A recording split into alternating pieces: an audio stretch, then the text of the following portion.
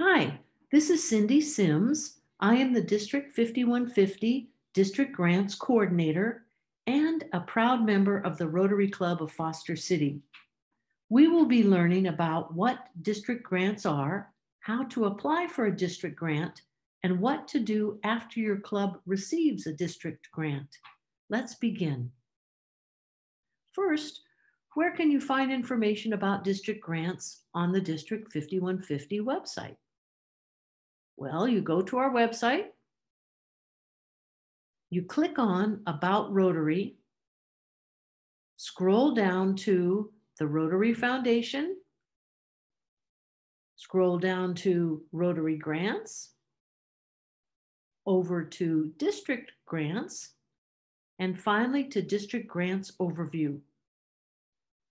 When you get there, you'll find steps one through five. So first step one, step one is a welcome and an overview on where district grant funding comes from. District designated funds, DDF, provide funding for district grants and global grants. Each club is allocated DDF annually by District 5150 based on the club's prior three years of donations to the Rotary Foundation's annual fund. Estimated DDF allocations for the coming Rotary year are sent to club presidents and president elects by the end of April each year. So, what's the difference between district grants and global grants?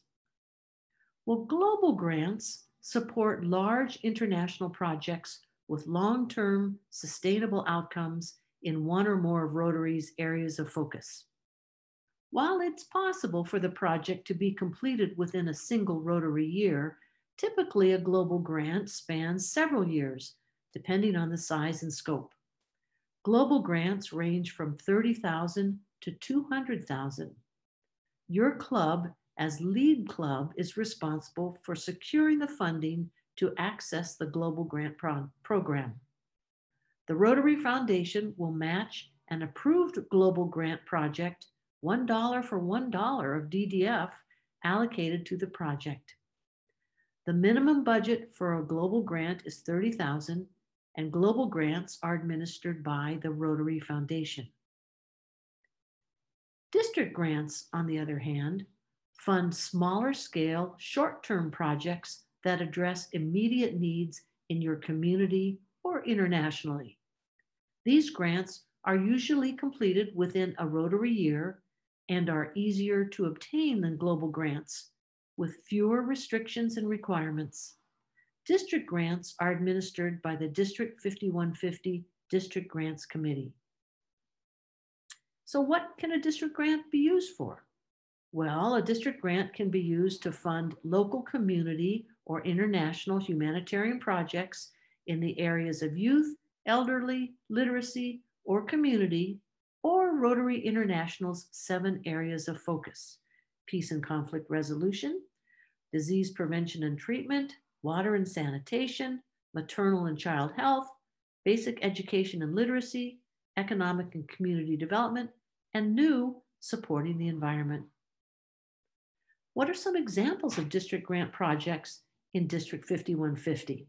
Well, there have been community projects like teacher mini grants, RYLA scholarships, community food banks, Rotary Park improvement, Rotacare, solar car project, Thanksgiving dinners for low income families, Bay Cruise and movie for low income children with disabilities, dictionary distribution for third graders, COVID 19 masks distribution, community needs based scholarships, furnishings for Center for the Domestic Peace, the Spark program, hams for single moms, as well as there have been district grants for international projects, H2OpenDoors water purification projects, sanitary products for girls in Uganda, the Yurok Nation playground installation, which you'll hear about shortly. And this is just some of the many district grant projects in District 5150.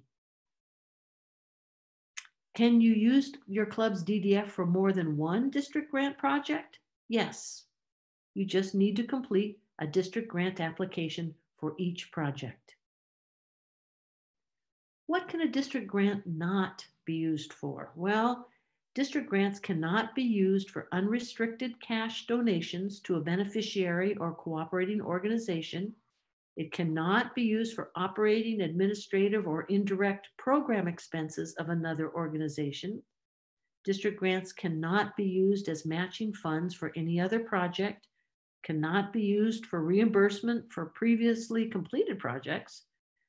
You cannot use district grants to purchase land or buildings or construct or rehabilitate buildings except for water and sanitation projects. projects.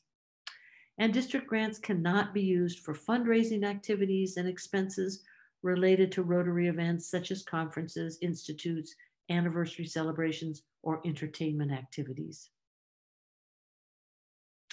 Okay, you have completed step one, which is the overview about district grants, and now you are ready for step two, getting your club qualified before April 1st, 2021. First, the club president-elect and president-elect nominee must complete the Rotary International Learning Center Grants Management course and Rotary Foundation Basics course by February 28, 2021. The club's Rotary Foundation chair must complete the Rotary International Learning Center Grants Management course by February 28, 2021.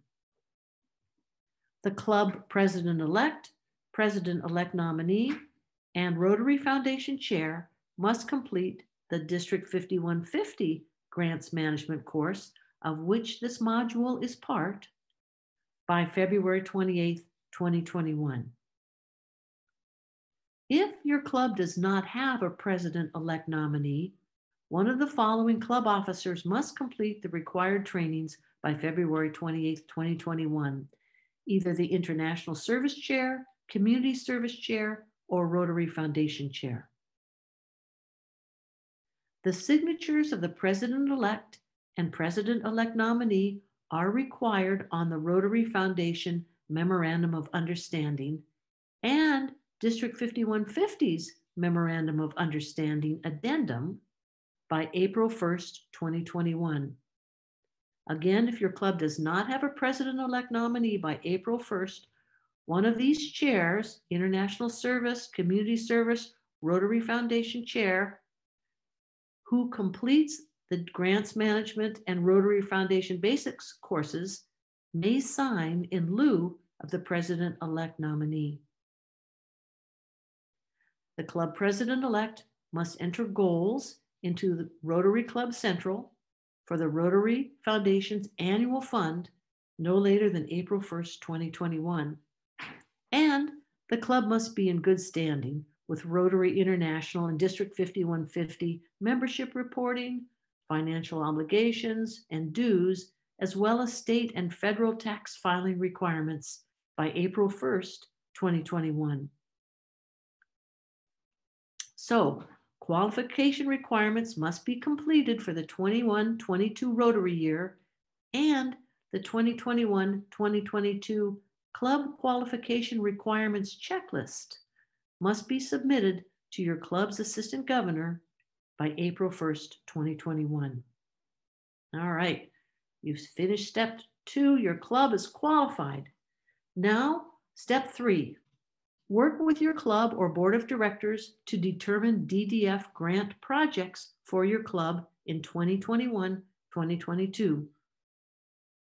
A district grant application for 2021 2022 DDF must be submitted prior to June 1st, 2021 which means you need to be working with your club prior to June 1st, 2021 to determine your grant projects.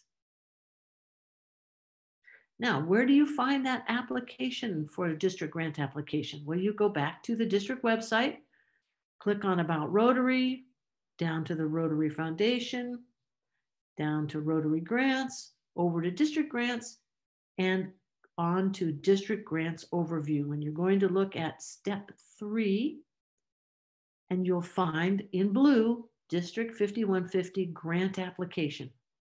So you click on that and you follow the directions to complete the application.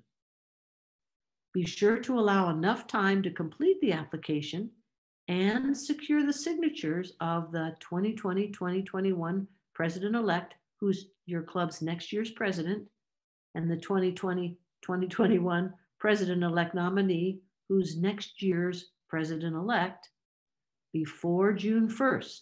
June 1st is that magic date. Completed online applications are automatically emailed to me, and the applications must be received by June 1st, 2021. Before you begin filling out that application form, review the application form. Take a look at it. Be sure that you have the information required to complete the application. What's the name of the project? How much will it cost? How many Rotarians will be involved?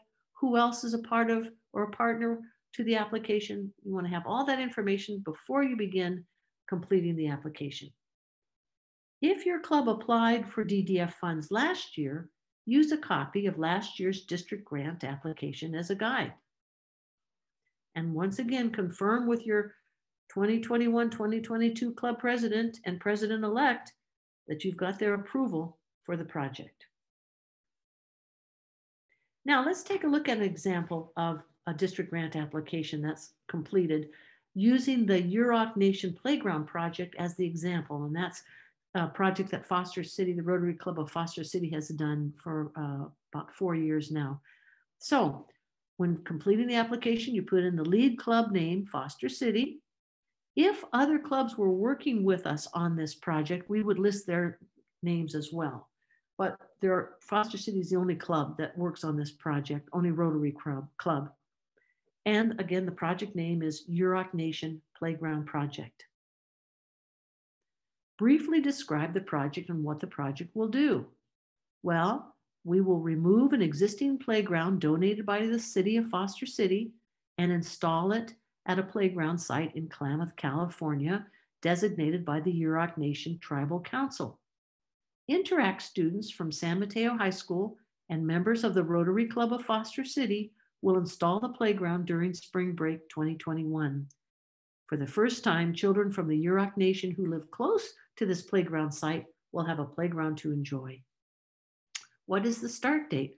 Well, we do this over spring break. So the first date of spring break this coming year is April 3rd, 2021, and spring break ends April 11th, 2021. And then a reminder that district grants do require active involvement of Rotarians. And so you need to list the number of Rotarians that will participate in this project in our case, it's about 15. Then you want to describe active participation by the Rotarians that's non-financial, and you must provide at least two examples of active participation.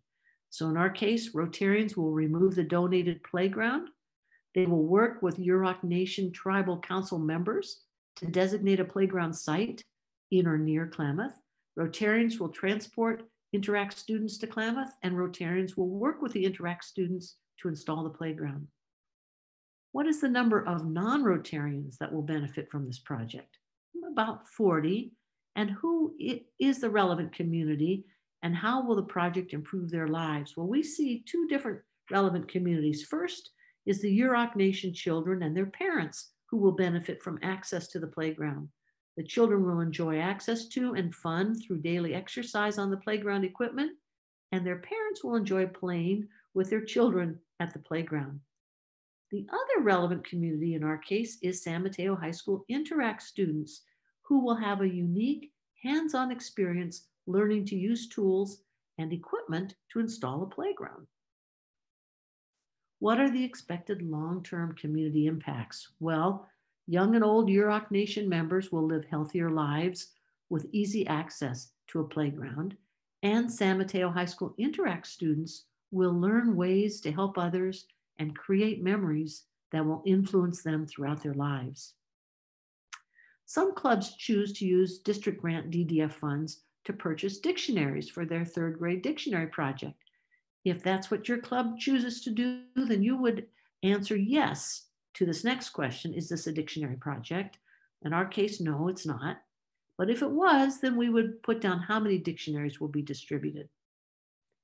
Some clubs choose to use their district grant DDF funds for RYLA scholarships. If that would be your club for your district grant application, then you would answer yes, this is a RYLA project, but in our case, it's, it's not, it's a playground project. But if it was a RYLA scholarship project, then we would put down how many students would be sponsored. Will the project address any of Rotary International's seven areas of focus? And if yes, which area? Well, we believe we are helping to fight disease because Yurok Nation children will have healthy exercise options that can establish lifelong exercise habits. Describe how the general public will know that this is a Rotary sponsored project and provide examples.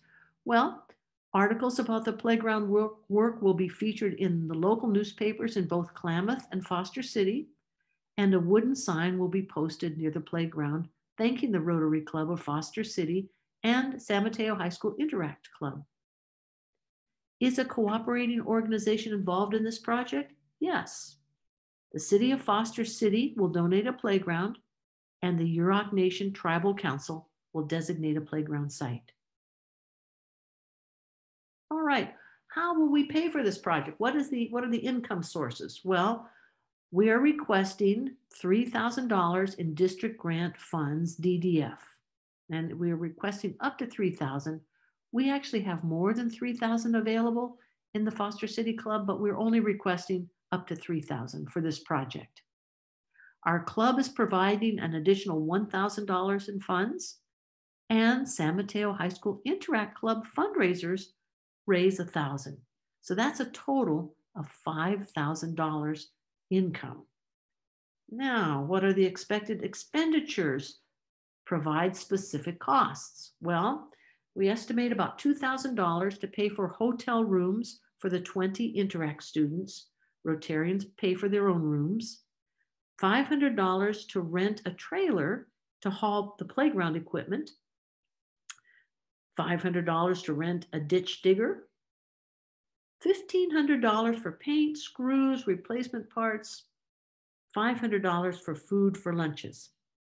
So those are specifics as best we know them at the beginning of the project. Total project expenditures, $5,000.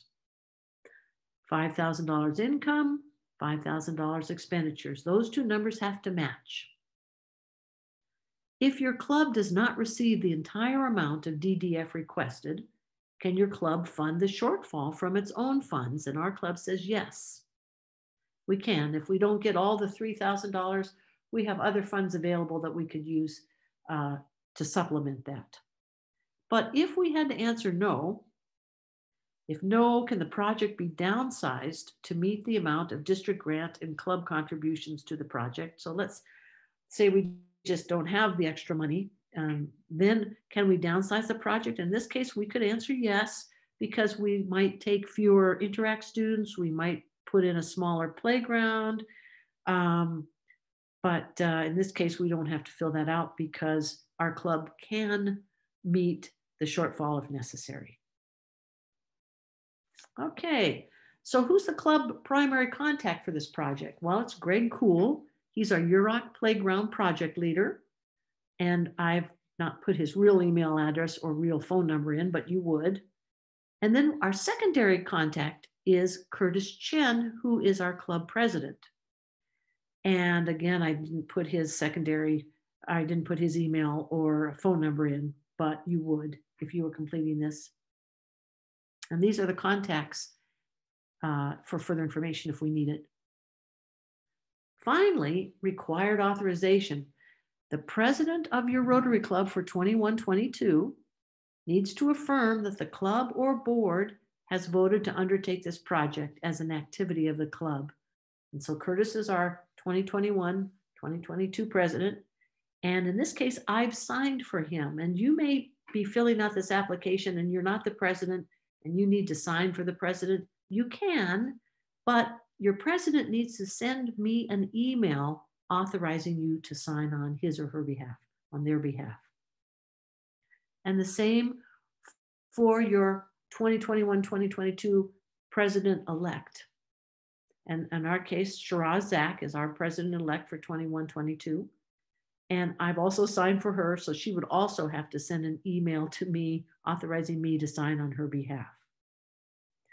And if your club does not have a president elect for 21 22, then it can be either your foundation chair, your international service chair, or your community service chair that can sign. Now, a new feature this year on the application, if you're working away in the application and you don't get it all finished, you can save it. You click on save at the bottom of the page, and what will happen is you will receive an email that says you can edit and submit your final application within 15 days. And you will get this uh, private access URL, which you just click on. then you enter the passcode, and then your application in the saved mode comes back up, and you can continue working on it. Once you've finished it and you are, you think you've got all the information, then you're ready to continue. You click on continue. And when you click continue, a completed district grant application pops up for your final review.